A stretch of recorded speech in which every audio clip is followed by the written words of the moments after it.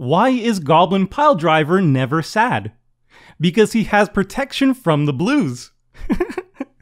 This video is sponsored by Cool Stuff Inc. with free weekly content and free shipping on orders over $150. You can save 5% site-wide by using the promo code MTGMuddstah. If you're looking for a direct way to help the channel, please consider joining my Patreon and becoming a member of the generic Goblin Gang. Hey gang, and welcome back. Today's game has Mika, Mackenzie, Max, and myself battling it out to see who is the best M name, although I guess myself isn't really my name. Mika has decided to play his Go Shintai deck, keeping Klothys, God of Destiny, Cultivate, Enchantress's Presence, Terramorphic Expanse, Seaside Citadel, Stomping Ground, and Invasion of Theros. Mackenzie is playing his Minsc and deck, keeping Cinder Glade, Freyalise Supplicant, Forest, Ozolith the Shattered Spire, Chain Reaction, Rampant Growth, and a Proud Wildbonder. I am still trying to test out my Otrimi deck, keeping Breeding Pool, Mist Syndicate Naga, Stormchaser Drake, Command Tower, Return of the Wild Speaker, Buried Alive, and a Forest. Last but not least, Max has decided to give in to his true nature, which is being a bully, and is playing the Beamtown Bullies. He keeps Mountain, Blood Crypt, Rakdos Carnarium, Ultimate Price, Ruin Grinder, Thrill of Possibilities, and Inverter of Truth. Mackenzie wins the die roll and starts us off. He draws and plays a Cinder Glade. I've just got a tap Breeding Pool, Max also has a tap Shockland with a Blood Crypt. Mika draws and plays a Terramorphic Expanse. Mackenzie plays a Forest Return after drawing and pays 2 for a Rampant Growth. I play a Forest Return and cast Stormchaser Drake. Max draws and plays a Forest. He passes, while Mika sacrifices the Terramorphic Expanse at the end of turn. Mika draws and plays a Seaside Citadel. Mackenzie's got a Forest return and is able to cast Minsc and Boo, making a Boo token as the walker comes in. He then upticks Minsc to put 3 plus 1 plus 1 counters onto Boo. Moving to combat, Boo then goes at me and deals 4, and Mackenzie passes. I draw and play a Woodland Cemetery, paying 2 for Swiftfoot Boots. I equip it to the Drake and then go to combat, and I swing the Drake at Minsc for 2, and then pass. During my end step, Max casts Thrill of Possibilities, discarding Inverter of Truth and drawing 2. Max just draws, plays a Swamp, and passes. Mika plays a Stomping Ground, shocking himself for 2, and then pays 3 for a Cultivate, he finds a basic for the field and one for his hand and passes. Mackenzie draws and plays a forest.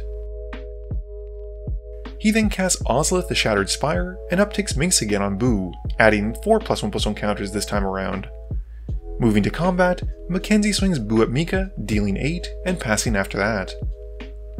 I draw and play a Command Tower, I then mutate Otrimi onto the Stormchaser Drake, drawing a card, and then moving to combat. I swing Otrimi at Minsc, finishing him off, and then pass turn.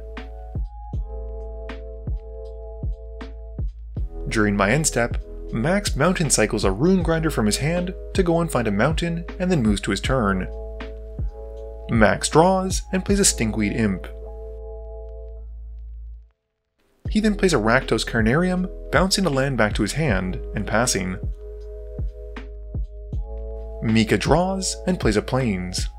He then plays out Felwar Stone and casts a Collective Restraint with full domain and passes after that. Mackenzie draws and casts a Freyalise Supplicant.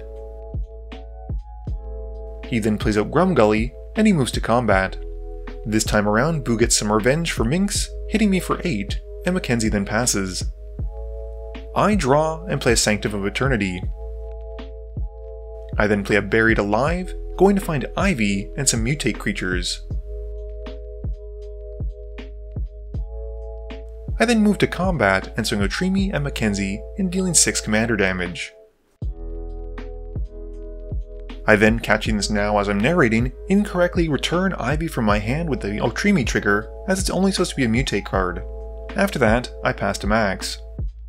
Max draws and plays the Beamtown Bullies. and then plays an Evolving Wilds and goes to combat. He swings the bullies at me for 4 since they have Vigilance and Haste, and I take the hit, and he passes. Mika draws and casts Enchantress's Presence, and then plays out Klothys, drawing a card from the presence. He follows that by playing a Reflecting Pool and passing to Mackenzie. Mackenzie draws and plays a Spire Garden. He then recasts Minsc, and in response, Maximus cracks the Evolving Wilds to find a forest. Mackenzie then downticks Minsc to throw Boo at the Stinkweed Imp, and draws 8 cards, and passes after that. I draw and play Ivy and move to combat. I swing Otrimi at max for 6, and he responds by giving me Inverter of Truth, exiling my library, and giving me my graveyard as my library. Max still takes the 6 though. I then cast a Black Market Connections and pass after that. Max dredges 5 with Stinkweed Imp instead of drawing, and then plays a Mountain for turn. He plays a Viridian Reveler, and recasts the Stinkweed Imp, and moves to combat. Once more, Max swings the bullies at me for 4 to live up to his name, and he passes after that. Mika exiles a Ruin Grinder with Klothys on his upkeep, and Max responds by activating the bullies to donate it to Mika instead of losing it. Mika then draws her turn and casts Go Shintai, making a shrine token and drawing a card. He then follows up with Invasion of Theros, having me defend it, and goes to tutor Esika, god of the tree. Going to combat, Mika swings the Ruin Grinder since he has to, at the invasion, and defeats it.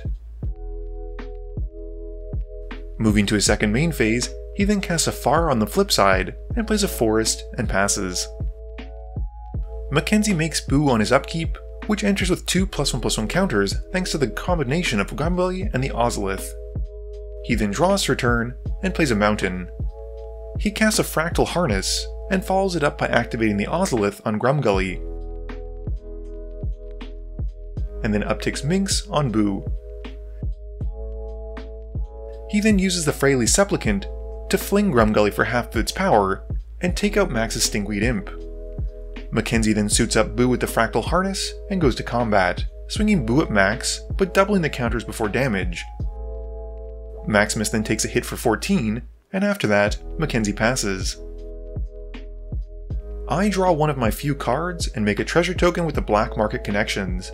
I then mutate Sawtusk Demolisher onto Otrimi and copy it onto Ivy, destroying the Collective Restraint and Viridian Reveler, and giving them beasts instead.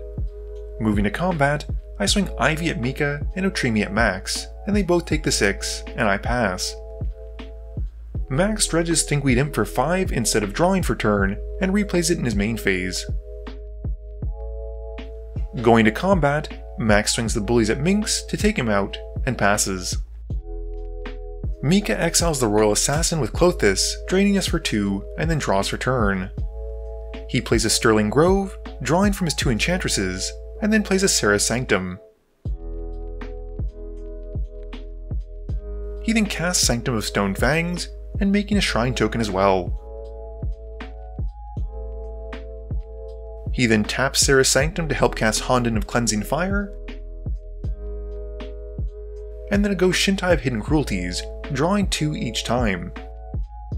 Moving to combat, Mika swings a lot at Mackenzie, who takes the full hit, and then Mika then moves to his end step.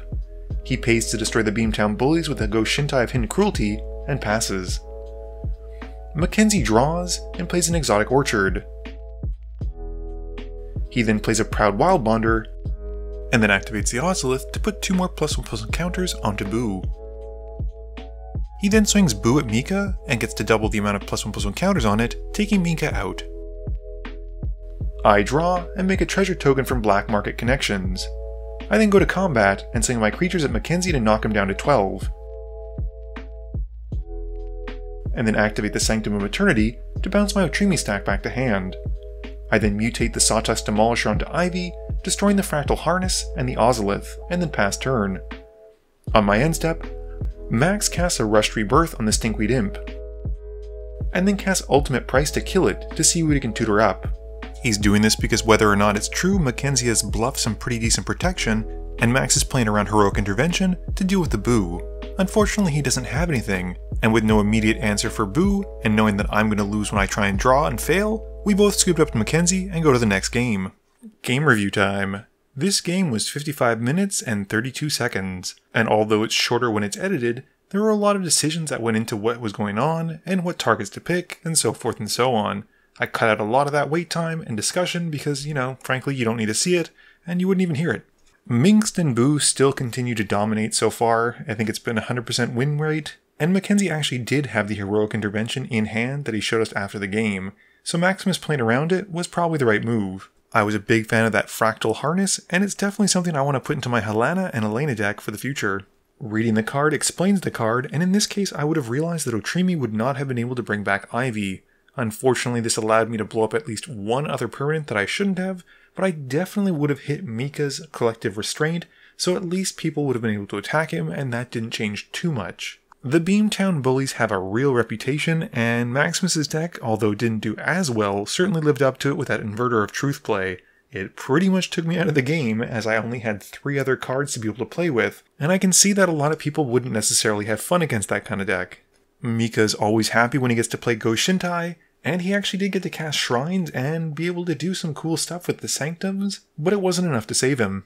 This video wouldn't be possible without the help from my sponsors, Cool Stuff Inc., Multizone, Original Magic Art, and Alter Sleeves. But it definitely wouldn't be possible without the help from you, the viewers and my patrons. So I just want to say thank you for watching, and to remember, friends are just opponents you haven't eliminated yet.